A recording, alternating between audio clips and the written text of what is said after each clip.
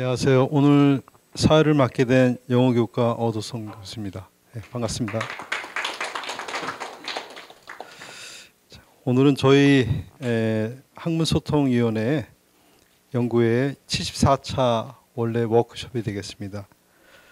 이제 이번 학기 주제는 어, 총장님께서 도덕적 인재 양성을 또 새로운 대학 교육의 패러다임으로 어, 제시를 하셔서 어, 저희가 총장님의 파트너로서 어, 어떻게 하면은 도움을 드릴 수 있을까 생각하다가 어, 부도덕한 사회의 정의로운 인간이라는 어, 관점의 주제를 정해서 어, 이러한 논의를 통해서 총장님께서 도덕적 인재 양성의 패러다임에 대해서 조금 더 깊이 있게 어, 생각할 수 있는 기회를 갖고 또 저희 고려대학교 구성원들도 어, 이제 이런 기회를 통해서 도덕적 인재 양성에 대해서 조금 더 깊이 있게 에, 아마 이렇게 고민하고 어, 성찰할 수 있는 기회가 되기를 바라는 어, 관점에서 이제 이러한 주제로 어, 이번 학기 어, 원래 워크숍을 시작하게 됐습니다. 아, 그럼 먼저 어, 본 음, 연구회의 아, 회장이신 강윤규 회장님이 인사 말씀이 먼저 있겠습니다.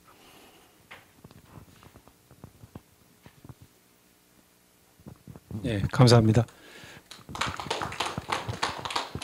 어, 저는 특별히 어떤 말씀드리기보다 우선 오늘 모임의 배경을 사회에 맡으신 어 교수님께서 설명을 해주셨고 어, 그 동안에 1학기 때부터 모였어야 하는데 뒤늦은 2학기가 되고 두 달이 지나가는 11월 1일 첫날 모임을 갖게 돼서 어, 그 동안에 우여곡절은 있었지만 그래도 오늘 의미 있는 것은 우리 고려대학교 학문소통연구회를 음, 현재 앞에 와 계신 정진택 총장님께서 어, 공식적으로 인정해 주시는 그런 의미가 있어서 어, 감사의 말씀을 드립니다. 네. 그동안에 마음 고생을 좀 했었습니다. 이제 그런 마음 고생은 다 훌훌 털고 어, 새로운 어, 기분으로 출발하는 그런 모임이 날이 되겠습니다. 이것으로서 인사 말씀드리고 이 자리에 함께해 주신 총장님께 우선 다시 한번 감사드립니다. 감사합니다.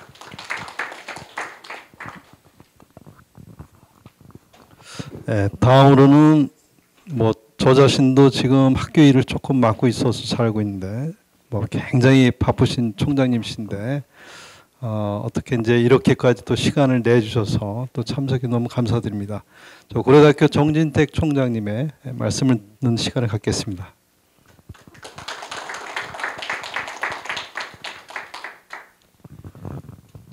예, 감사합니다. 예, 그 강윤규 회장님께서 그, 그 총장이 인정 연구의 존재를 인정했다고 말씀하시는데 뭐 당연히 이 오늘이 72차니까 오랜 기간 동안에 우리 연구회가 활발한 활동을 해온 것으로 알고 있고요. 저도 이 주제 발표는 아니고 토론자로 한 번 정도 참석했었고 몇 번 참석한 바가 있습니다.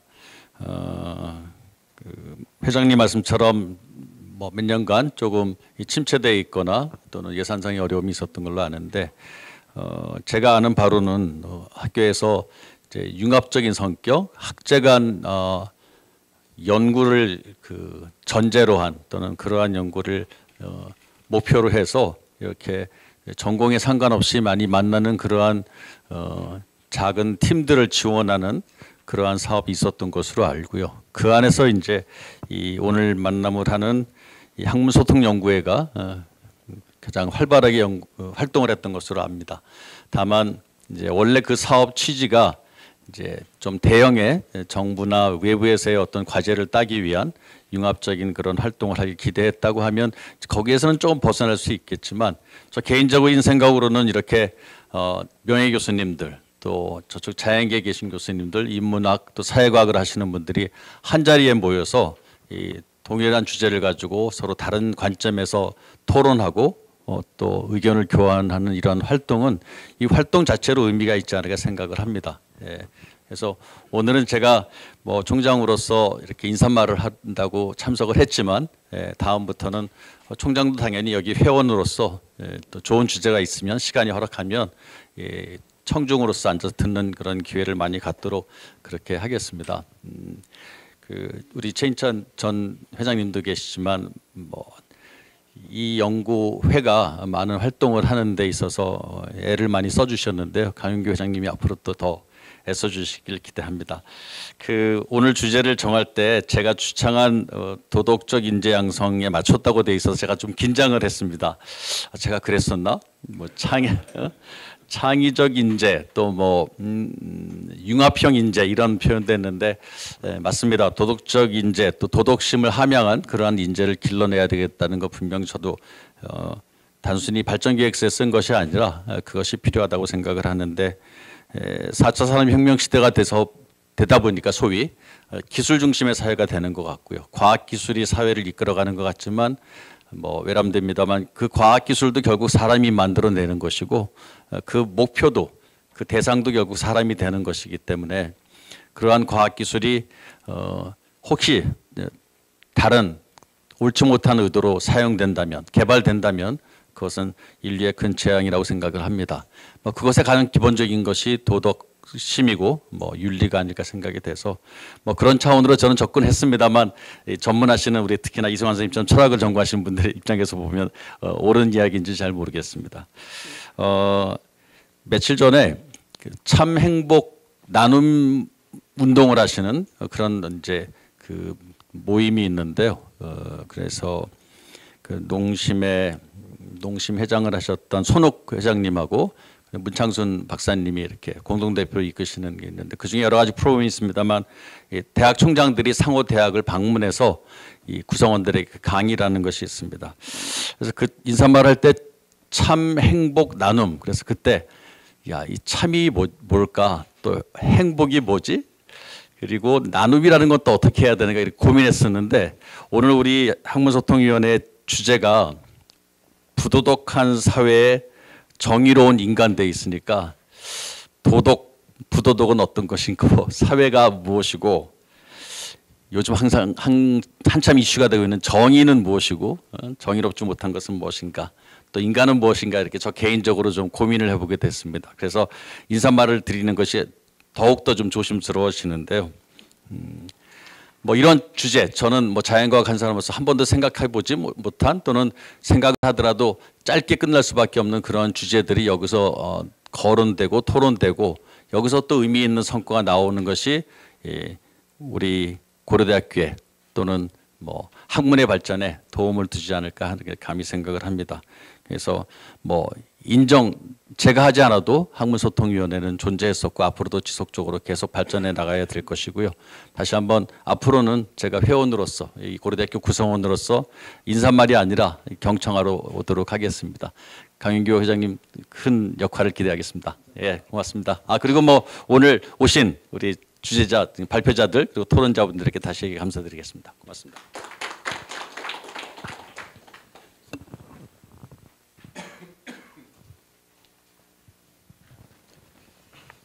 네, 그러면 바로 이어서 어, 오늘의 발표에 들어가겠습니다. 오늘은 어, 두 분의 연자를 모셨습니다. 어, 철학과에서 이승환 교수님과 행정학과에서 안문식 예, 명예 교수님을 모셨는데 안문석 명예 교수님 모셨는데 어, 제가 이제 두 분이 보내신 자료를 읽어보니까 아, 공교롭게도 논, 논점의 방향이 좀 약간 좀 반대여서 오늘 되게 좋은 어, 토론의 장이 되지 않을까 기대하고 있습니다. 그리고 이제 토론자로서는 의과대의 그 조윤정 어, 교수님하고 그다음에 경영학과의 권성호 교수님께서 오늘 토론자로 참석해 주시게 되겠습니다. 그럼 먼저 어, 순서에 따라서 어, 이승환 어, 교수님께서 먼저 발표를 이어가시고 어, 바로 이어서 조윤정 교수님께서 어, 토론자로 어, 활동해 주시겠습니다. 그럼 여러분 저 이승환 교수님 박수로 맞이해 주시기 바랍니다.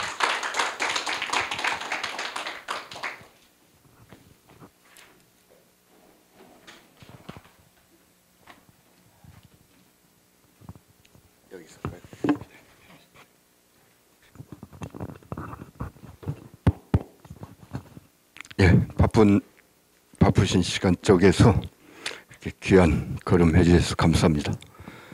에, 10여 년도 넘게 전에 한번 초청 받아서 어, 강연을 한 적이 있고 오늘 두 번째 초청을 받은 것 같습니다. 에, 오늘 강연 주제는 크게 에, 주최 측에서 주신 주제는 부도덕한 사회의 정의로운 인간입니다. 에, 사회 자체는 굉장히 부도, 부도덕하고 모순 덩어리인데 이 속에서 우리 개인들이 어떻게 하면 정의로운 사람이 될 수 있을까? 아마 이런 문제 의식을 가지고 이 주제를 에, 만드신 것 같습니다. 자, 이 주제를 보는 순간 에, 미국의 기독교 사회학자 라인홀드 니버가 쓴 도덕적 인간과 비도덕적 사회 Moral Man and Immoral Society라는 책 제목이 문득 떠올랐습니다. 에, 그는 미국의 기독교 사회학자로 에, 1920년대에 에, 목사였던 부친을 이어서 미국의 디트로이트 City에서 목회 활동을 했습니다. 그 당시 미국에서는 어, 포드 회사에서 컨베이어 벨트 시스템이 에, 각 공장에 설치가 돼가지고 에, 인력 감축이 진행되고 있었고 인력 감축 감축의 과정에서 고경력, 고임금, 에, 고숙련 노동자를 해체하고 아, 해고시키고 대신 임금이 낮은 저임금 노동자를 이제 취업을 시키는 그런 사태가 막 벌어지고 있던 당시였습니다. 그는 디트로이트에서 이러한 벌어지고 있는 포드 자동차에서 벌어지고 있는 이러한 사, 사태를 직시하면서 이건 굉장히 부정의하다. 여기서 이렇게 잘려나간 근로자들, 노동자들은 굉장히 숙련된 노동자임에도 불구하고 더 유능하게 일을 할 수 있음에도 불구하고 이제 밀려서 떠밀려서 이제 실업자가 되고 그 그가 에, 부양해야 되는 수많은 가족들은 이제 밥을 못 먹게 되는 상황에 이른 거죠. 그래서 이번은 경제 정의의 관점에서 에, 이 자동차 회사라는 집단, 이익 집단이죠. 그리고 거기에 속해 있는 개인들의 관계에 주목하게 된 거죠. 그래 개인의 도덕성과 에, 집단의 도덕성은 어떤 차이가 있지 않을까 이런 통찰을 하게 됐어요. 그러니까 자동차 회사의 운영진들, 개개인들이 아무리 선량하고 착실한 선한 기독교인이고 아주 좋은 아빠고 좋은 남편이고 하더라도 일단 회사에 들어가서 일을 할 때면 회사의 이익을 위해서 에, 노동자들 감원을 해야 되고 그리고 집단 속에서는 이 개인의 도덕성이 아무런 쓸모가 없더라. 그래 개인의 도덕성과 집단의 도덕성은 엄연히 다르다. 개인의 도덕성은 자기 이익을 추구하지만 경우에 따라서는 타자를 위해 자기를 희생하기도 하고 그런 이타성을 간직하고 있다. 그래 개인 윤리, 특히 기독교 윤리에서 지향하는 최상의 목표는 바로 이기심이 없는 상태, 무사의 상태라고 이제 보았죠. 그건 뭐 기독교만이 아니라 불교나 유교나 다 마찬가지겠죠. 인류의 고등 종교, 고등 사상이 지향하는 바는 그런 거겠죠. 자, 거기에 비해서 이 집단의 도덕성. 집단은 언제나 이기적이다. 집단 이기적이다. 그래 집단은 이타성을 발휘하지 않는다. 이건 우리가 작금에 겪고 있는 뭐 검찰 개혁 사태랄지 그런 걸 봐서도 아주 쉽게 경험할 수 있습니다.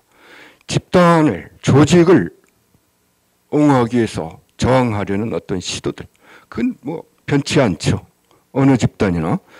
그래 이러한 집단의 비도덕성을 견제하기 위한 최선의 덕목은 뭐냐? 결국은 정의라는 덕목이 돼야 된다. 그래 정의라는 덕목이 실현되기 위해서는 단순히 윤리적인 차원의 논의만으로는 안 되고 여기에는 힘이 필요하고 정치적인 과정이 필요하다고 봤어요. 집단적 행동에는 항상 집단 이기주의가 작동하고 개인의 도덕성 가지고 집단 이기주의를 견제할 수 없다. 그리고 개개인들이 아무리 도덕적이라 하더라도 이 개인의 도덕성의 총합이 그 집단의 도덕성으로 바로 연결되지는 않는다. 집단과 또 다른 집단 사이의 관계에서는 특히 이성도 현저하게 저하되고 도덕성도 현저하게 저하된다. 예를 들어 뭐 포드 자동차와 크라이슬러 자동차 간의 집단 간의 이 경쟁에 있어서는 누가 양보를 할 수 없는 거죠. 헌신, 희생, 말도 안 되는 소리죠. 집단 간의 이기심이 충돌하고 갈등을 빚는 현실에서는 정의의 실현을 위해 힘의 균형이 요구된다. 그러니까 지금 해고된 고숙련 노동자들, 그네들의 어, 히- 어떤 불이익을 만회해 주기 위해서는 그네들과 회사 측과의 어떤 힘의 균형, 밸런스가 맞아야 된다는 거예요. 이제 마, 밸런스를 맞추려면 어쩔 수 없이 강한 노조가 결성돼야 되고 투쟁이 있어야 되고 정치적인 어떤 투쟁이 있어야 될 거 아니에요. 그래 이제 에, 니버라는 이 목사님 또는 이 사회윤리학자는 다소간 사회민주주의적인 색채를 띠고 있다 이런 평을 받았죠. 에, 이런 생각을 뭐 제가 우리 교육 과정에 도입하자는 얘기는 절대 아닙니다. 왜냐하면 대학은 좀 더 정치적으로 중립적이어야 되니까 에, 사회에서 일어나는 일을 객관적으로 설명하고 사태를 이해하게 해주면 그걸로 어, 우리 교원들의 임무는 끝이라고 생각해요. 에, 제가 리버의 도덕적 인간과 비도덕적 사회를 에, 처음 화두로 끄집어낸 것은 바로 우리가 살고 있는 첨단 과학기술 시대에 똑같은 문제가 발생하기 때문이죠. 오늘날 우리가 살고 있는 첨단 과학기술 시대, 이건 우리를 둘러싸고 있는 또 하나의 구조, 제도, 체제라고 할 수 있습니다. 이 속에서 개인이 아무리 선량하고 양심적이고 정직하다 하더라도 자칫하면 이 속으로 말려 들어가서 에, 부정의한 인간이 될 수 있고 음, 부패한 인간이 될 수 있다는 거예요. 제 생각은. 자, 다- 니버로 잠시 돌아가서 전통적인 생각에 의하면은 개인들의 도덕성을 함양시켜주면은 그가 속한 집단 전체가 도덕성이 제고될 거다. 그가 속한 사회도 좀 더 수준이 업그레이드 될 거다 이런 기대를 해왔는데 환상에 불과하다는 거예요. 불합리한 사회 구조와 제도는 그 안에 속한 선량한 개인들이 손해를 보며 살게 만들거나 마침내는 도덕적이기를 포기한 채 포기한 채 불의와 타협하며 살도록 이렇게 강요를 한다는 거예요. 에, 뭐 가까운 예로 우리 사회에서도 이러한 예는 쉽게 우리가 발견할 수가 있죠.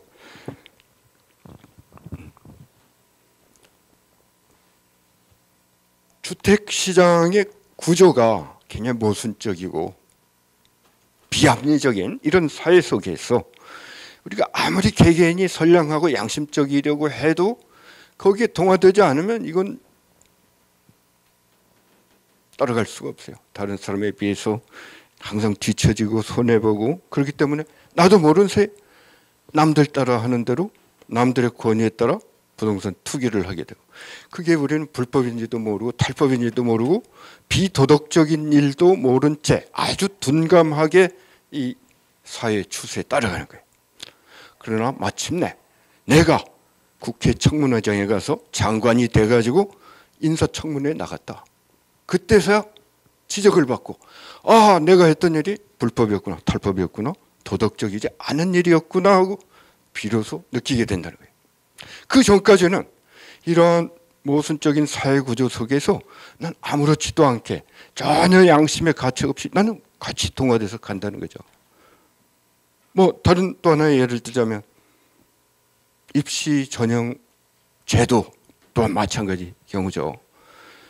이러한 살벌한 입시 경쟁 구조 속에서 아주 강남 8학군이라는 좋은 학군으로 들어가기 위해서는 내가 거기 안 살아도 위장 전입을 해야 되고 남들 다 하는데 왜 나라고 안 해? 내 자식 성공시켜야 되는데 해서 아무런 죄책감 거리낌 없이 이장전이 파고 역시 나중에 인사청문회장에 서면 아 이게 불법이었구나 그때서야 아 내가 도덕적이지 못, 못한 일을 했구나 사죄합니다 그때서야 사죄를 하거든요 자 그래서 이러한 불합리한 사회 구조와 제도는 개개인들을 타락시키고 파괴시킨다. 리버의 견해 이래요. 사회를 안정적이고 도덕적으로 유지하기 위해서는 개인의 도덕적 함양도 필요하지만 더 중요한 것은 정치적 방법에 의해 이 체제 구조 제도를 바꾸는 노력이 필요하다. 이게 이제 사회 윤리적 접근이라고 리버는 정의하는 거예요.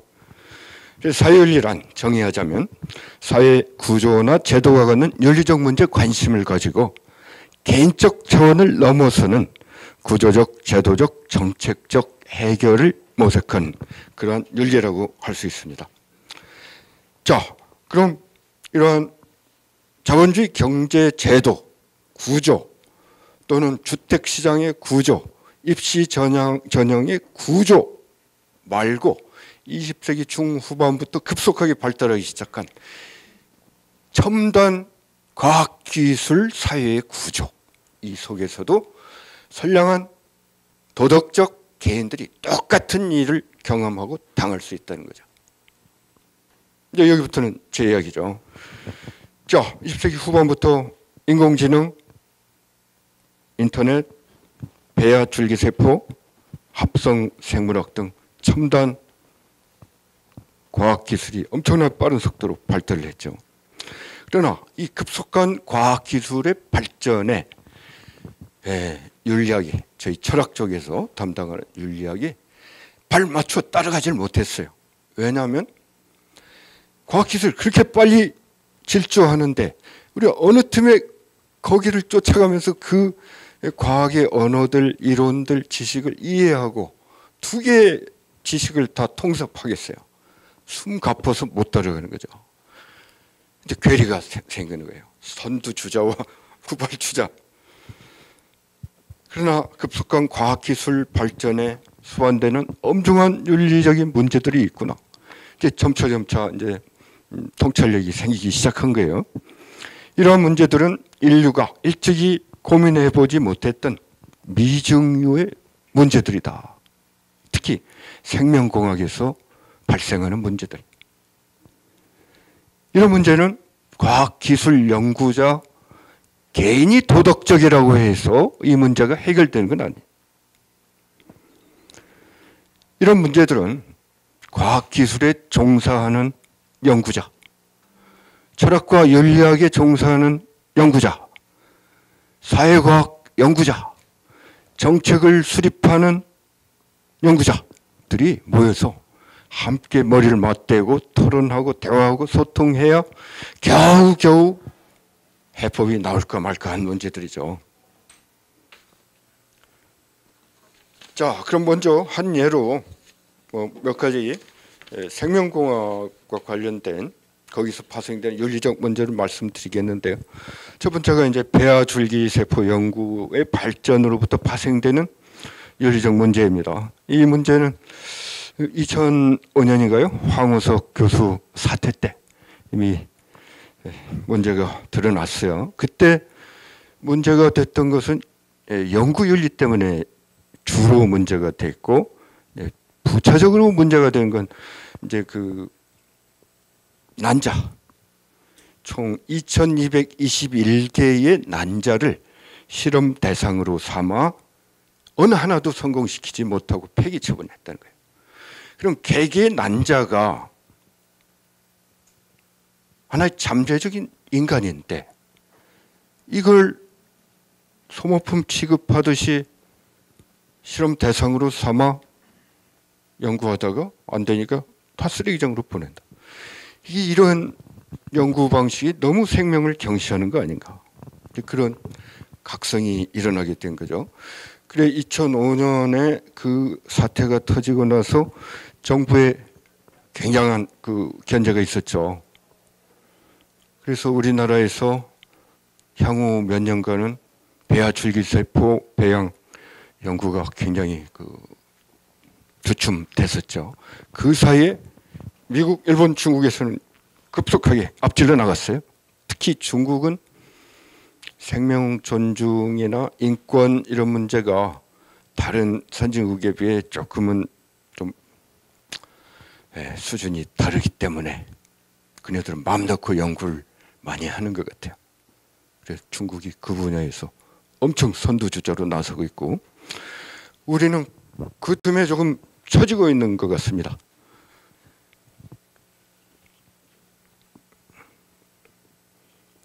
그럼 이러한 배아줄기 세포가 연구가 우리에게 가져다주는 긍정적인 전망이 있어요. 난치병 치료에 큰 도움이 된다. 제 세상을 떠난 친구 하나도 에, 손의 위축증이라는 음, 불치병을 앓다가 먼저 떠났는데 이 배아 줄기세포 연구가 결실을 맺기만 기다리고 있었어요. 근데 아쉽게 황우석 사태가 터지고 그냥 좀 이따 이 친구도 가버렸어요. 비관적인 우려는 아까 말씀드렸지만 인간의 존엄성을 훼손시킬 우려가 크다. 난자, 체세포를 실험 대상으로 특히 일회성으로 소모해도 좋은 것인가?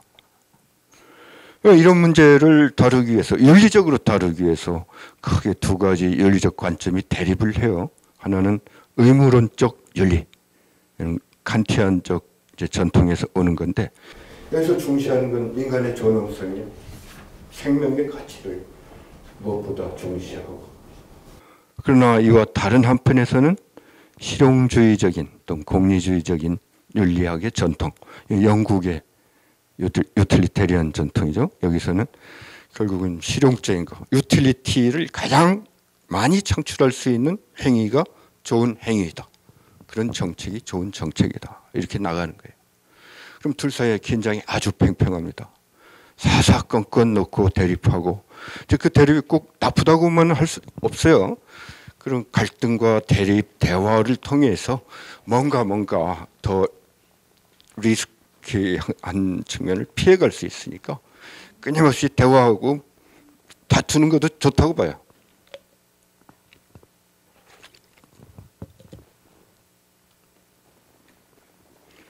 에, 오늘은 에, 주로 제가 강조해서 말씀드릴 부분이 이제 합성 생물학의 부분이에요. 저희 대학의 에, 생명공학부에도 에, 합성 생물학이라는 과목이 개설돼 있더라고요. 커리큘럼에.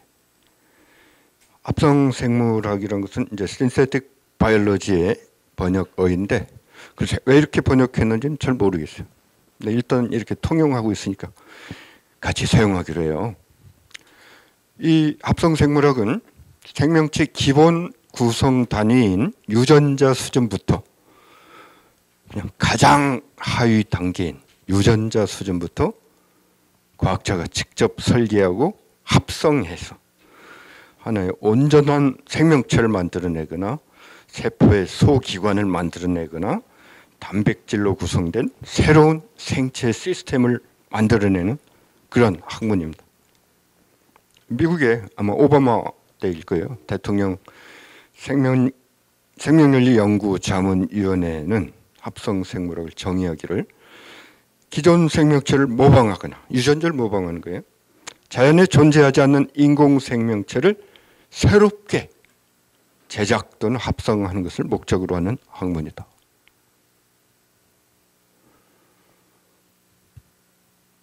자연계에 기존에 존재하지 않는 새로운 인공 생명체를 만들어내는 거다.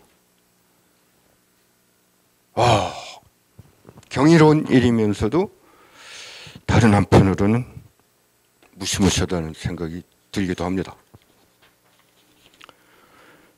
합성 생물학은 공학적인 프로세스를 분자 생물학에 도입한 학문이라고 그래요.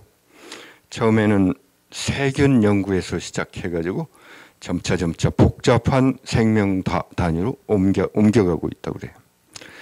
기존의 분자 생물학이 생명체를 잘게 잘게 나눠 최소 단위로 환원해 내려가 마지막 수준인 유전자 정보, 게놈 정보를 읽어내는 톱다운식 접근을 했다면은 합성 생물학은 반대예요. 이미 판독이 된 게놈 유전자 정보를 바탕으로 해서 자 미세한 수준에서부터 점차점차 위로 위로 위로 올라가서 새로운 하나의 완전한 생명체를 조립해내는 거예요. 완전 공학적입니다.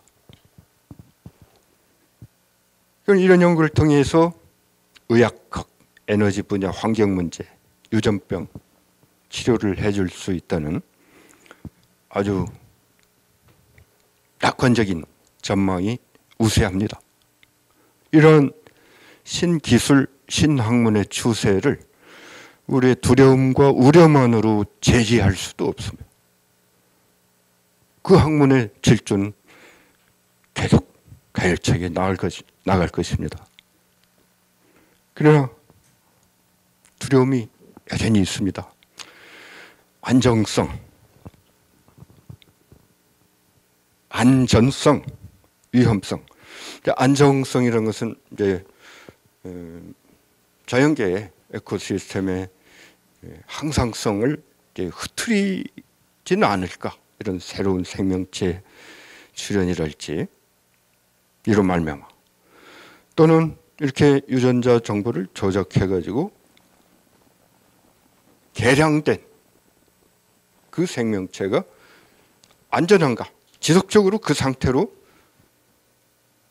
생명력을 유지할 것인가 또는 이렇게 변형되고 조작되고 새롭게 만들어진 종래 없었던 새로운 생명체들이 우리의 미래의 자연 환경에 어떤 예측 불가능한 결과를 가져올 것인가. 이건 우리가 겪어보지 않은 일이기 때문에 누구도 섣불리 단정할 수 없고 다만 우려를 할 뿐이죠.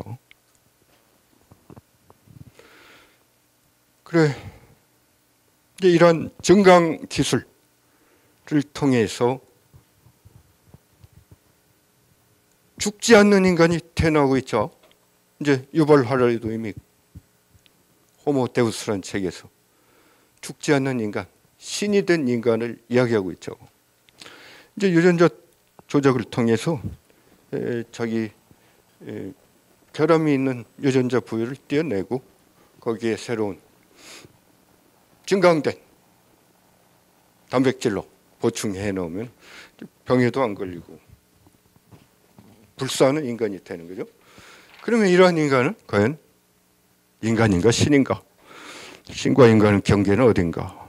새로운 철학적 질문이 우리에게 대두되는 거죠. 자, 이러한 기술을 가능케 하는 음, 어떤 아, 이런 그 기술이 있어요. 크리스퍼 유전자 가위 기술이라고 그래요. 에, 유전자 가위. 그러니까 유전체 내에서 원하는 특정 부위만을 선택적으로 자르거나 교체하게 해주는 유전자 가위로서 이런 가위가 실제 물리적인 가위가 아니라 이제 단백질 효소예요. CAS9 단백질. 그 기술을 잠시 예, 그림으로 이렇게 걸 보시면 이 부분이 이제 치명적인 유전병을 유발하는 악성 유전 코드를 제거해 버리고 여기에 이제 아주 우량한 건강하고 양질의 단백질로 보충해 주는 거죠. 이렇게 해서 병에 걸리지 않는 인간, 우량한 인간, 증강된 인간이 만들어지게 되는 거죠.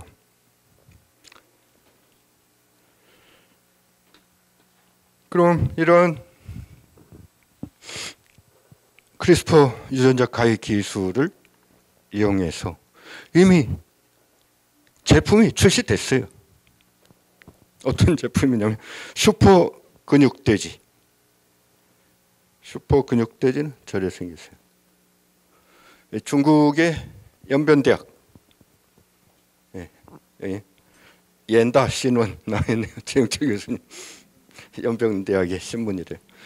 서울대 김진수 교수팀하고 연변대 이 연구소하고 합작해가지고 근육 슈퍼 근육 돼지를 만들었는데 왜 근육 돼지를 만들었냐면 중국 사람들은 그 식용유하고 돼지고기가 없으면 사- 살 수가 없다 그래. 그래 돼지고기 양을 늘려야 되는데 이 돼지고기 비계 양을 20% 줄이고 이렇게 돼지를 변형시키면 근육량을 20% 증가시켜 가지고 아주 식재료로 유용하다 그래요. 그래 이미 슈퍼 근육돼지 변형된 거죠. 그 다음 역시 또 중국입니다. 중국의 중산대학에서는 인간의 수정란을 대상으로 해서 유전자 게놈을 편집했어요. 편집해가지고 이 편집된 게놈을 네이처지에 실으려고 냈는데 거기서 거절을 했어요. 네이처지에서. 왜냐하면 아직은 인간을 대상으로 이 유전자 가위를 이렇게 사용해 가지고 인간 자체의 변형을 가는 건 아직은 좀 더 논의 단계가 필요하다라고 생각한 것 같아요. 그 심각한 음, 우리가 경험해 보지 못했던 미중의 윤리적 문제들이 우리 앞에 놓여 있습니다. 자, 이러한 최첨단 생명공학 기술을 활용해서 많은 유리한 이점이 있습니다. 유전병을 치료할 수 있고 멸종한 동물종 매머드랄지 얼음 속에 묻혀 있었던 그걸 재생시킬 수 있어요. 그리고 사람에게 치명적인 말라리아 모기를 유전자를 변형시켜서 해롭지 않은 모기로 바꿀 수도 있고 그다음 인간의 병을 치유하기 위해서 필요한 장기를 생산해주는 돼지라는 공장을 이용해서 장기를 생산할 수가 있고 여러 가지 유용한 측면이 많이 있어요. 문제는 생명이 무엇이고 자연은 무엇인가에 대한 근본적인 물음을 다시 묻게 한다는 거예요. 에, 과학자, 기술공학자 들은 실험실에서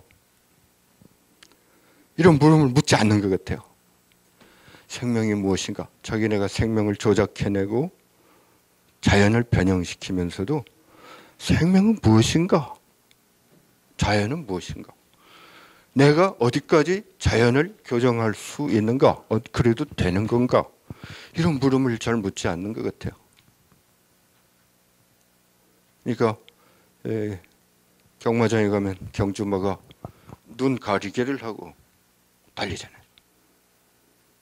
앞만 보고 뛰어가도록 한 방향만 보고 질주하도록 자기가 연구하는 이 한 부분만 보고 달려가도록 다른 쓸데없는 질문 하지 말라.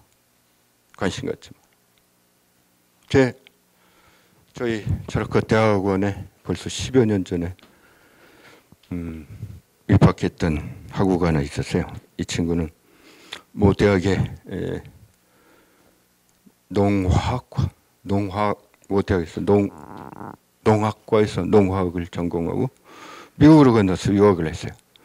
근데 그쪽에 음, 랩에서 지도 교수가 어, 특정한 해충을 죽이는 이 살충제를 개발하느라고 거기 연구진으로 투입된 거예요. 계속 이 친구가 실험을 하다 보니까 이 타겟 해충만이 아니라 다른 해롭지 않은 음, 곤충까지 다 죽인다는 걸 이 친구가 아는 거예요. 지도 교수한테 질문을 했대요.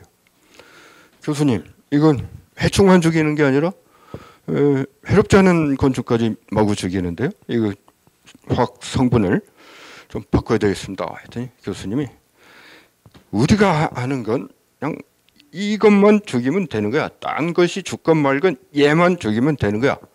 나머지 발생하는 일은 다른 연구자, 다른 분야의 사람들 알아서 할 거야.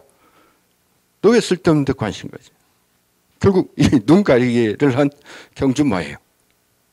우리 과학기술 기술공학 연구진의 연구 태도가 혹시 그런 건 아닌지 우려가 들 때가 있어요.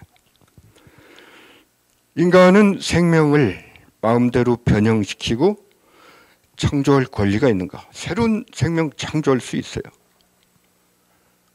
아직 이 지구상에 나타나 보지 않은 생명 만들어낼 수 있어요. 그러나 그 만들어낼 권리가 있는가 나한테? 근데 실제로 많은 이 분야 전공하시는 교수님들 이야기 들으면 이 전공하시는 분들 뭐 국내를 막론하고 자신이 창조주 창조주가 되고 싶은 열망에 불타고 있다 그래요. 적지 않은 분들이 자기 손으로 어떤 것을 만들어 보고 싶은 열망. 그래 자연 생명체 자기적인 변형은 장기적으로 생태 환경에 어떤 결과를 초래할 것인가 알 수가 없죠. 더구나 눈 가리를 하고 앞만 보고 달리는 연구자한테는 이러한 질문 자체가 없는 거예요. 어떤 결과가 초래될 것인가라는 질문 자체가 없는 거예요. 그래 이 질문을 이러한 질문을 스스로 한번 자기에게 던져보도록 누군가 좀 이야기를 해줘야 되지 않는가. 이걸 해줘야 될 사람이 바로 뭐 윤리학자랄지 뭐 인문학자도 좋고 자 크리스퍼 유전자 가위를 사용해서 불량한 음, 그 유전자 부분을 잘라내고 우량한 단백질을 보충한다. 아까 슈퍼 근육 돼지 만들듯이 슈퍼 근육 인간 충분히 만들어요. 헐크 뭐 100명, 1000명 다 만들 수 있어요. 돈만 있으면. 나도 돈만 내고 가서 수술 받으면 헐크 될 수 있어요. 안 죽을 수 있어요. 옛날에 도가 도교 동양에서 맺는 사람들은 장생 불사를 추구했어요. 오래 살면 죽지 않는 게 내 돛 닦는 꿈이다. 그래서 함부로 뭐 먹지 않고 성생활도 함부로 하지 않고 전기를 다 안으로 응축시키면서 고이고이 간직하면서 오래 살라고 했어요. 이제 그런 노력이 필요 없어져 버렸어요. 요즘까지 하나만으로 우리는 죽지 않는 인간이 될 수 있는 거예요. 자, 많은 사람이 헐크가 되어버리면 우리가 즐기고 있는 체육, 스포츠, 올림픽 다 소멸되겠죠. 이게 인간들의 자기의 노력과 자율성에 의한 경쟁이 아니라 유전자 가위 간의 경쟁일 거 아니에요. 이제 이런 스포츠, 올림픽이라는 문화 활동은 사라지게 될 것 같아요. 이제 이렇게 힘이 센 사람, 돈이 많아서 수술 받을 수 있는 사람 이렇게 증강되고 돈이 없어서 유전자 조작 못하는 사람 나처럼 애서 맨날 구박받을 거냐. 피게마 꽝 치고. 그리고 자기들끼리 치고받을 거 아니야. 약육강식. 인류 문명 어디로 갈까? 자 이러한 첨단 과학 시세, 시대에 엄중한 윤력 문제가 발생한다. 오늘날 시대에는 전통 시대에 지속되어 왔던 전통 윤리로는 해결될 수 없는 새로운 차원의 숙고가 요청된다. 첨단 과학 기술 시대 윤리적 상황에서는 개인의 도덕성이 오늘날 시대의 윤리적 문제로 문제 해결로 곧바로 연결되지 않는다. 개개인이 아무리 도덕적이라고 해서 이 문제들이 해결되는 게 아니라는 거예요. 첨단 과학 기술 시대 발생한 윤리적 문제에 대해서는 개인적 차원의 도덕성을 넘어 집단적 차원, 거시적 차원의 윤리가 요청된다. 과학기술의 급속한 발전은 새로운 윤리적 상황을 만들어내고 있으며 이를 해결하기에 과학만의, 공학 만의, 생물학만의 또는 윤리학만의 독자적인 접근으로는 명명백백한 한계가 있다. 과학기술의 급속한 발전으로 초래된 윤리적 문제 해결을 위해서는 과학과 철학, 특히 연리학 간의 긴밀한 학문적 소통, 대화, 협업이 필요하다.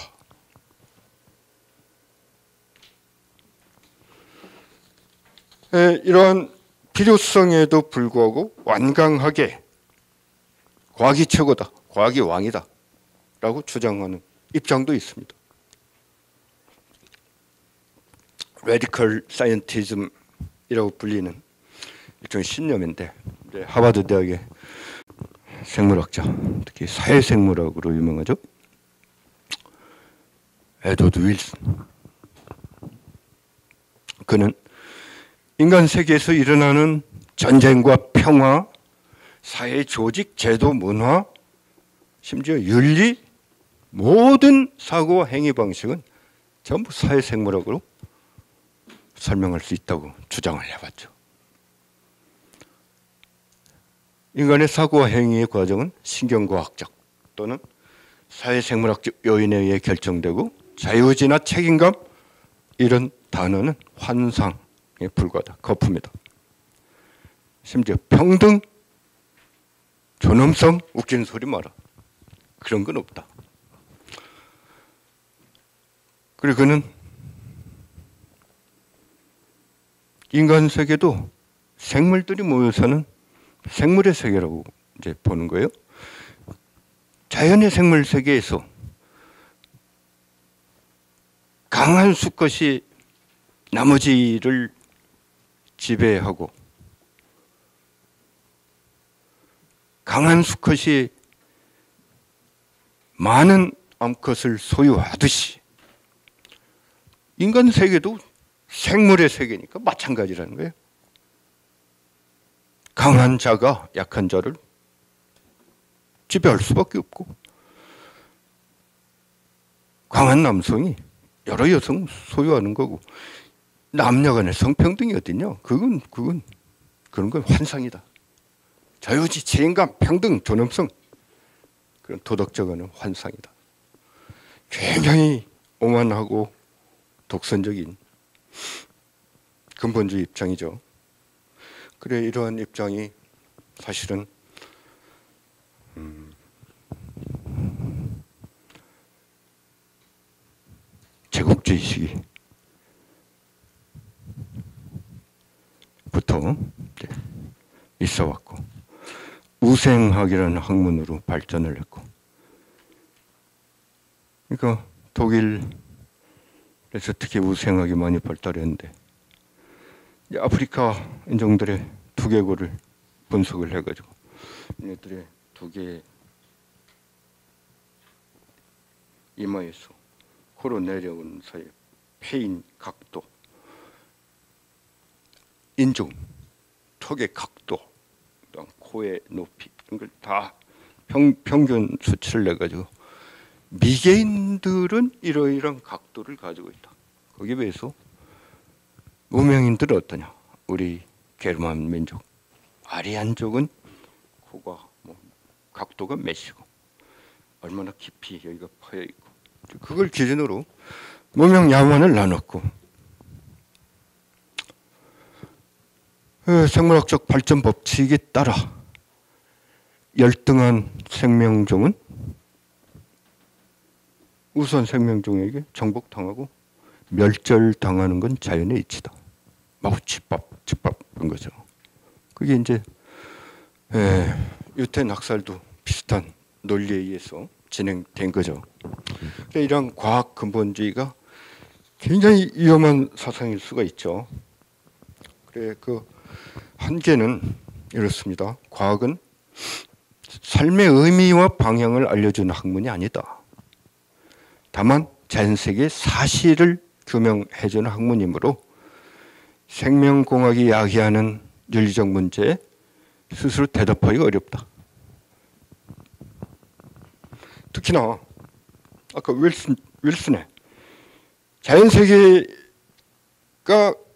음, 우량 아, 강한 수컷이 약한 암컷을 지배하듯이 인간 세계도 그러해야 한다라고 하는 그런 언명은 자연 세계에 관한 자연 세계의 동물들의 세계에서 강한 수컷이 힘이 약한 암컷을 지배한다. 이건 자연계에 대한 사실에 관한 명제죠. 사실 명제. 그러나 가치의 명제는 이게 그래서 좋은 건가?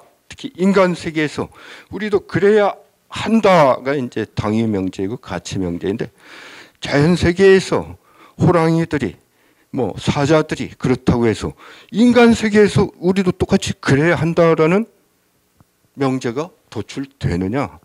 이건 논리적으로 우리 오류라고 그래요. 자연주의적 오류라고 불러요. 철학에서는. 예, 과학기술은 스스로의 전국 영역에 거쳐서 안주할 것이 아니라 자기 영역 안에서 발생하는 윤리적 문제에 대한 moral sensitivity 그리고 moral judgment 능력을 길러야 할 필요가 있는 것 같아요. 예, 우리 언어 학습에 있어서 이제 문해력이란 말이 사용되잖아요. 글을 이해하고 쓰고 뭐 하는 능력이죠. 그럼 과학적 문해력이란 개념도 있어요. 과학적 개념, 지식 이론을 뭐 깊이는 아니더라도 이해하고 그걸 일상에서 활용할 수 있는 그런 수준의 예, 능력이죠. 그러나 전문 용어나 개념만을 이해하는 그 선에서 그치기보다 과학기술 발전에 수반된 윤리적인 이슈까지 같이 이해하고 질문을 던질 수 있도록 과학적 문해력의 개념이 심화되고 확장될 필요가 있는 것 같습니다.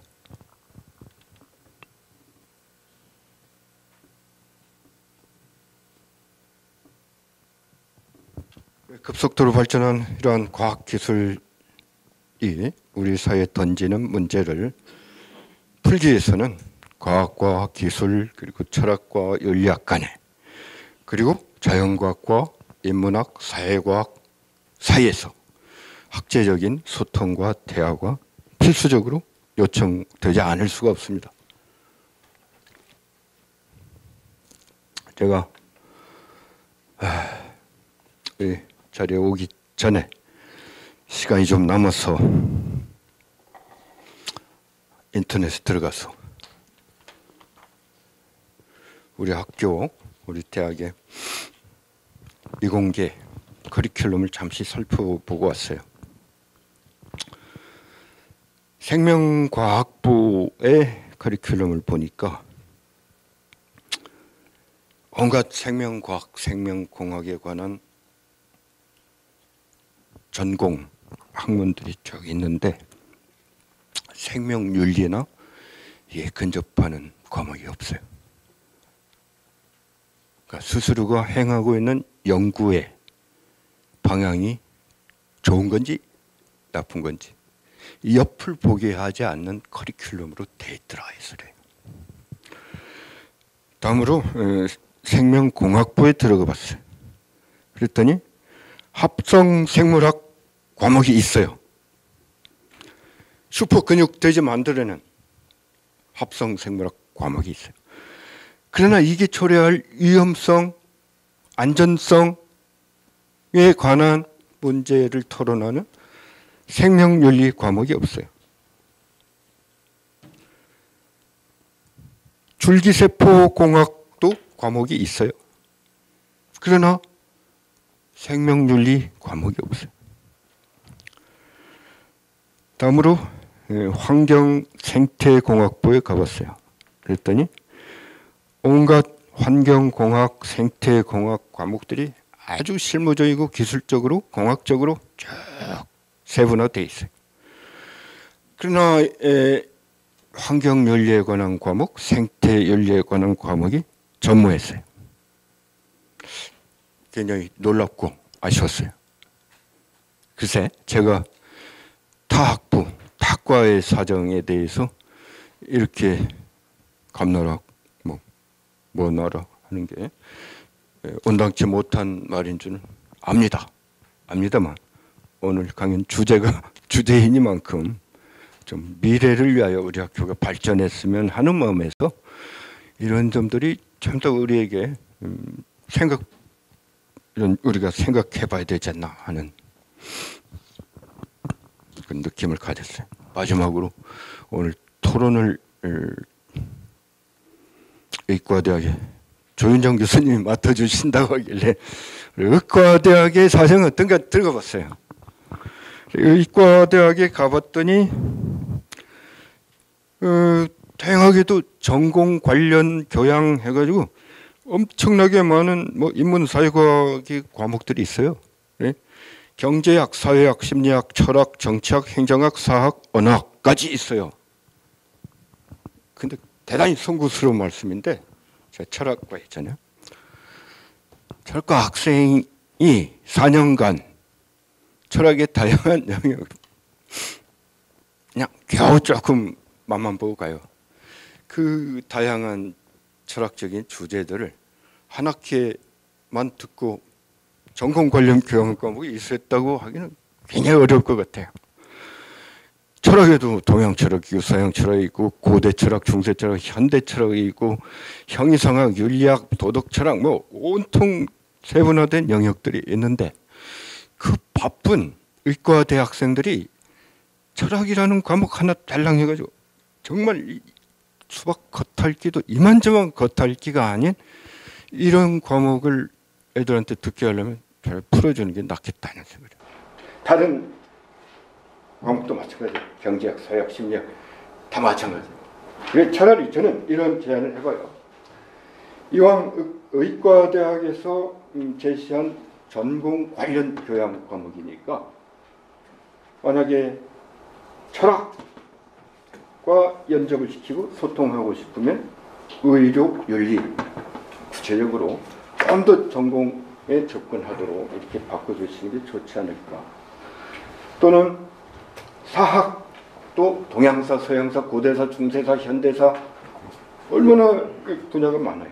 그렇기 때문에 사학도 뭐 의료의 역사랄지 질병의 역사 이런 식으로 구체화시켜주는 게 훨씬 학생들에게 도움이 되고 앞으로 전공의가 돼서 일을 수행할 때 풍부한 소양을 가지고 환자들을 대할 수 있지 않을까.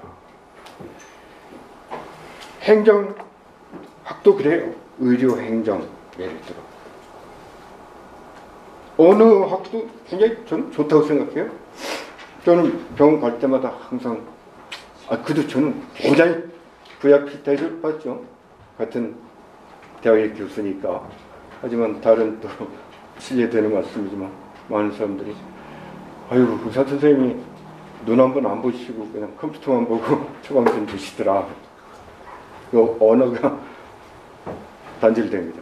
그래 사실 의사 선생님이 아주 짧은 말, 말 한마디, 눈빛 하나도 굉장히 환자들을 따, 따스하게 만들거든요. 그런 이런 대인 관계를 위한 어떤 의사소통법, 언어학의 자리에 그런 걸 넣어주면 어떨까? 뭐 경제학도 그래요. 우리 경제학의 음, 경제의 성장과 에, 지체에 따라 의료 복지가 얼마나 등락이 심한가, 의료 수가는 어떻게 되는가 이런 것들을 나중에 의사가 될 학우들이 미리미리 사전 숙지하고 하는 게 훨씬 좋지 않을까. 막연한 이 수박 겉핥기만 하다가 한 학기를 때우는 것보다 그런 생각을 해봤습니다. 좀 주제 넘은 말씀을 드렸습니다.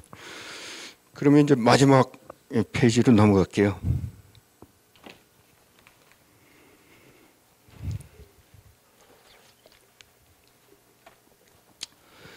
에, 지금까지 말씀드렸지만 학제 간 소통이 너무나 너무 절실하게 요청되는 시대를 우리는 살고 있습니다.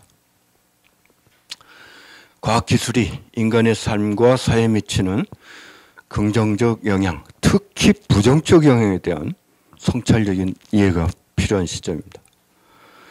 그래서 우리 학교에서 지금 아까 떠나셨습니다만 정진택 총장께서 창의성 인재, 에, 융합성 인재, 도덕적 인재, 양성 크게 세 가지 때 내놓, 내놓으신 걸로 알고 있는데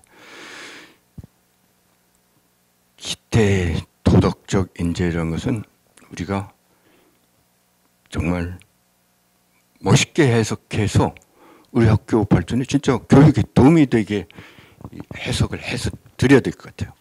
개인의 도덕성만이 아니다. 이건 내내 말씀드렸지만 과학 기술에 대해 도덕적으로 균형 잡힌 시각을 갖춘 그런 인재 양성. 내가 연구하는 첨단 과학 기술 공학 분야가 인간의 미래에 대해서 자연의 미래에 대해서 환경에 대해서 어떤 위험을 초래할 수 있는지 윤리적으로 성찰할 수 있는 인재. 그건 개인의 양심만 가지고 안 되고요. 그리고 도덕적 인재라는 에, 20대 집행부의 에, 교육 목표가 이런 식으로 좀 더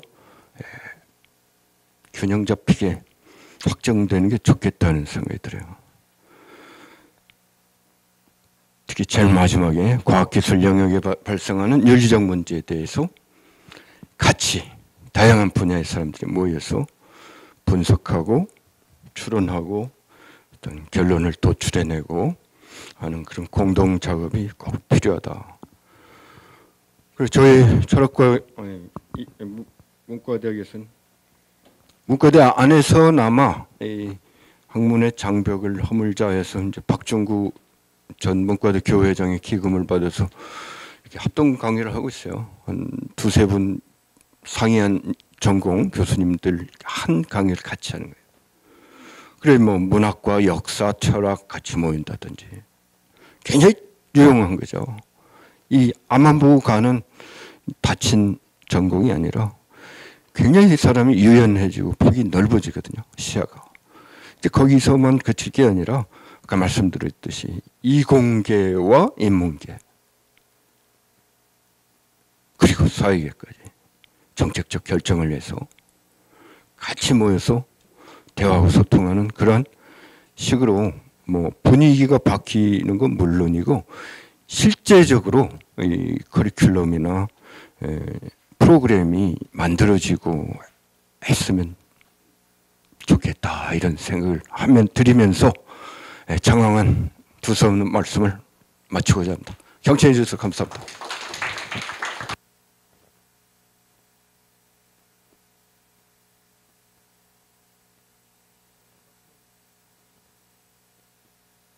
저희가 사실은 5분 정도 늦게 시작을 해서 어, 지금부터 약 20분 정도 어, 이제 교수님께서 이제 토론할 수 있는 시간을 충분히 갖춰달라 해서 그렇게 할 수 있을 것 같습니다. 바로 이어서 조현준 교수님 말씀을 듣겠습니다. 아이 그 네이처 스컬이라고 잠깐 다녀오시면 또 제가 아까 잠깐 다녀왔는데요. 제가 좀 쓸게요. 제가 사실은 철학이라는 것이 모든 학문의 그 상위에 존재하는 거라 굉장히 어렵고 어, 철학 과정은 아마도 그 40세 이상만 입학 자격을 줘야 되는 것이 아닌가 이런 생각이 듭니다. 그리고 저도 이제 좀 나이가 조금은 들었어요. 그래서 50은 넘었거든요. 마음속은 이팔 청춘이지만 그래서 점점 더 아, 내가 철학과를 갔어야 되는 것이 아닌가 하는 고민을 자주 하게 되는 시대고요. 사실 제가 이렇게 정말 어려울 거라고 상상은 했지만 이렇게 어려울 거를 좀 더 인식을 잘했더라면 손을 안 들었을 겁니다. 토론자로 나가겠다고. 근데 이제 너무 어렵고 사실 이제 저가 주로 할 수 있는 내용은 Circle of Concern이라면 오늘 이제 말씀해 주신 내용이 저는 Circle of Influence에서만 이렇게 좁혀서 좁혀서 이제 말씀을 드리도록 하겠습니다. 어, 화장실 안 가시나요? 그럼 계속 할까요?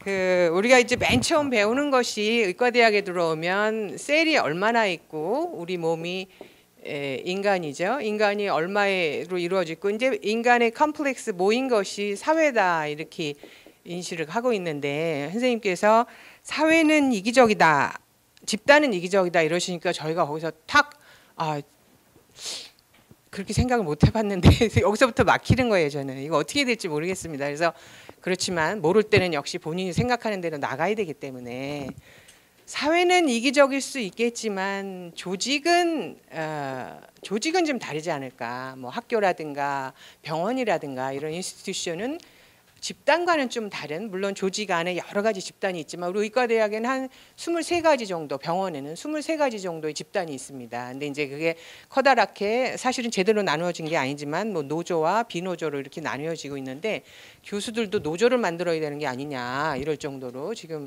이렇게 되고 있는 상황입니다. 그래서 조직하고는 좀 달라서 어, 조직은 이기적이지 않을 수 있다. 특히 이제 의과대학과 병원은 에, 생성 목적 자체가 이기적일 수 없는 집단입니다.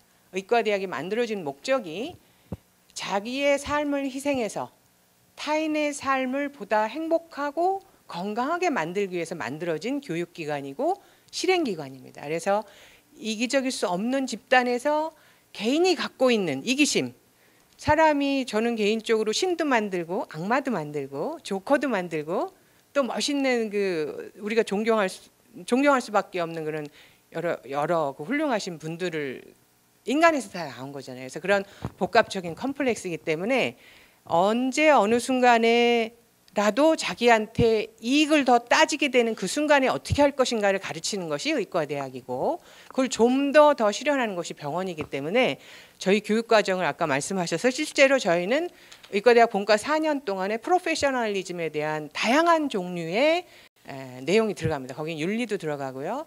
communication skill도 들어가고 또 다양한 상황에 접했을 때 어떻게 대처할 것인가에 대한 거 그런 강의가 PBL로 들어가고 또 직종이 다양하기 때문에 의사만 있는 게 아니잖아요. 간호사도 있고 뭐 therapist도 있고 뭐 기사도 있고 사진 촬영하는 영상 기사도 있고 이송반 아저씨도 있고 굉장히 다양한 종류의 직종이 있기 때문에 그분들하고 어떻게 커뮤니케이션 할 것인가 인터프로페셔널 인터디시플리너리 교육을 어떻게 할 것이냐에 대한 교육도 굉장히 심도 있게 아, 진행을 하고 있습니다. 그래서 저희가 이제 조직을 우리 조직을 이제 병원이나 학교만 생각을 한다면 이 조직이 왜 존재하는가에 대한 거, 왜 우리는 왜 존재하는가, 의과대학은 왜 존재하고 병원은 왜, 의료원 컴플렉스는 왜 존재하는가에 대한 생각을 많이 해서 이제 한 5년 내지 10년에 한 번씩 부총장님이 비전 선포식을 쫙 합니다. 멋지게 몇 억 들여서. 그래서 이제 그게 미션과 비전으로 녹아져 나오는데 요새 나온 거 조금 보니까 미션을 약간 오해한 것이 아닌가 개인적으로 이런 생각이 들지만 비전을 멋지게 만들어놨어요. 그래서 우리는 왜 존재하는가? 환자의 생명을 위해서, 어, 환자의 건강을 위해서 존재한다는 그런 agreement 하에 이런 가치와 이것을 실행하기 위해서 어떻게 실행할 것인가는 구체적인 실행 전략을 어, 만드는 데 있어서 위크 포인트 있는 건 사실입니다. 선생님께서 의과대학만 말씀하셨지만 실행 전략적인 측면에서 실제로 미션과 비전이 제대로 이루어지고 있는가? 아, 그러니까 우리 뭐 가령 뭐 어떤 행정부서에서 물건을 사는데 에, 걔가 얘가 나하고 좀 더 친하고 뭐, 뭐 현금으로도 좀 줄 수 있고 뭐 한 10억짜리 사면 한돈 천만 원 줄 수 있고 그러면 똑같은 퀄러티 같은데 이쪽으로 갈 수 있지 않은가? 이런 데서 실질적으로 철학적인 고민 윤리적인 고민이 들어가 있어야 되는데 그것까지는 아직 실현되지 못한 상태인 것 같습니다. 그래서 우리가 어, 교육 의과대학하고 의과대학 교육만 끝나는 것이 아니라 의과대학을 끝나고 나면 인턴 레지던시십을 밟고 또 전문의가 되고 그 과정에 모두 다 그 윤리적인 교육이 사실 들어가 있습니다. 그래서 의사 면허를 3년에 한 번씩 갱신을 해야 되는데 윤리 강좌를 안 들으면 갱신이 안 돼요. 그래서 저도 그거를 이제 두 시간을 내려서 듣고 굳이 들어야 되나 뭐 이런 생각도 했지만 어, 듣고 갱신을 하게 되는 그런 사회적인 노력은 있습니다. 그래서 그 아까 저는 잘 모르는 철학자지만 어, 집단의 이기적일 수밖에 없다는 내용에는 집단은 그럴 수도 있지만 조직은 다를 수 있지 않은가. 우리가 가치관을 공유하고 우리가 왜 존재하는 거에 대한 생각을 좀 해본다면 에, 조직은 윤리적일 수 있지 않은가 이런 생각을 해봅니다. 아, 그리고 또 제가 말씀드리고 싶었던 것이 에, 우리가 이제 뭐 파워라고 그럴 때 이게 이제 다양한 종류의 파워가 있겠죠. 어, 사람을 이쪽 저쪽으로 쓸 수 있는 파워도 있고 돈을 많이 가질 수 있는 파워도 있고 다양한 파워가 있을 때 주로 윤리적인 문제에 있어서 저 사람이 도덕적이다, 비도덕적이다 이런 걸 판단을 하는데 다른 사람한테는 욕을 하지만 가령 그 기회가 나한테 왔을 때 나도 그럴 수 있을까라는 생각을 해보면 에, 욕하는 사람한테 파워가 없고 기회가 안 주어졌으니까 그렇게 쉽게 얘기할 수 있는 것이 아닌가 이런 생각이 듭니다. 저는 그래서 이제 옛날에는 어, 나 저도 같이 막 욕을 했는데 요새는 욕하기가 조금 두려워요. 나도 저런 파워를 가지면 정말 정말 저걸 정말 거절할 수 있을까 이런 생각이 듭니다. 뭐한 아, 한뭐 100억 정도라고 그러면 거절할 수 있을 것 같은데 나한테 엄청나게 좋은 파라다이스 남태평양의 파라다이스 뭐 평생 살 수 있는 권리와 뭐 그런 온갖 support 다 주고 뭐 자유로울 수 있는 권리 다 준다면 내가 과연 거기다 no를 할 수 있을 것인가 이렇게 생각해 본다면 조금은 주저할 것 같습니다. 그래서 일단은 어, 특정 파워 있는 집단만 가령 뭐 이제 요새 어느 집단이나 거기 상위 권력에만 올라가면 다 욕을 먹으니까 그 집단이 특히 나빠서가 아니라 인간의 내재된 본성에서 누구나 파워를 갖게 되면 흔들릴 수밖에 없는 인간이 개인이 나약한 것이 때문에 그런 게 아닌가 하는 생각이 듭니다. 제가 철학적으로 좀 심도 있지를 못해서 그냥 개인적인 생각이고요. 아 그래서 뭐 누가 뭐 뭐죠? 전 잘 모르겠는데 뭐 이윤의 사유화, 손해의 사회화를 뭐신 무슨 자유주의 경제에 해당하는 사람들은 잘한다 그러지만 전 그건 인간의 본성인 것 같아요. 인간의 본성이 아닌가 싶어요. 다만 그거를 자기 손해의 사회화를 못하는 사람이 왜 그러는가? 파워가 없기 때문에 할 수 있는 파워가 없잖아요. 그런 것이 아닌가 이런 생각입니다. 왜 그런 생각을 했냐면 최근에 뭐 저하고 성이 비슷한 외자 이름 분이 에, 그 인구에 많이 회자돼서 보는 다르지만 그래서 아 이게 좌우를 뭐 가르지 않고 누구한테나 있는 본성이 아닌가 이런 생각이 들었습니다. 그래서 어, 저희가 특히 레지던트 과정에 들어오기 전이라든가 어, 의과대학 3학년부터 시작되는 polyclinic 때 들어가면 각 과를 다 돌아다니는데요. 그때 가장 어, 교수님들이 어, 진료를 하는 현장에서 또 실습하는 각 개개의 수술장에서 생각하는 것들이 바로 이겁니다. conflict of interest. 이게 어, 뭐 특정 우리가 이제 교수님들은 다 알잖아요. 연구 논문만 쓰려면 한 세 페이지 어, 러- 그 저널에 따라서 어디는 세 페이지, 어디는 네 페이지 되는 거 항목별로 이거 했나요? 이거 안 했나요? 이거 했나요? 뭐 어디서 뭐 어디 회사에서 돈 주고 한 연구면 거기 강연 가서 뭐 honorarium 100불 이상 받았나? 뭐 이런 체크리스트가 많잖아요. 그래서 연구에 관한 하는 conflict of interest에 대해서 굉장히 많이 알고 계시고 하면 안 된다. 또 뭐 어, 장관쯤 되려면 그거 중간쯤에 이렇게 다 가다 걸리니까 다 이렇게 생각을 하지만 연구에만 있는 게 아니거든요. everyday life에 conflict of interest가 있고 환자를 보면서도 약을 처방하면서도 또 저 같은 경우에는 기계를 사면서도 conflict of interest에 매일매일 마주칩니다. 그래서 이 상황을 무엇인지 교육이 되어야 되고 상황을 어떻게 인지해야 하는지 이, 이게 conflict of interest인지 아닌지 어떻게 알겠습니까? 그거를 다양한 케이스를 갖고 교육을 시키고 conflict of interest라는 거는 에, 쉽게 얘기하면 그냥 팔이 안으로 굽기 때문에 밖으로 안 굽잖아요. 이게 아무리 굽히려고 해도 그럴 그런 관성 때문에 생길 수 있는 거다 이렇게 생각이 되고 사람이 하나의 이익만 추구하지 않고 다양한 이익을 동시에 추구하고 싶은 것이 인간 본성이 아닌가 싶습니다. 저도 솔직히.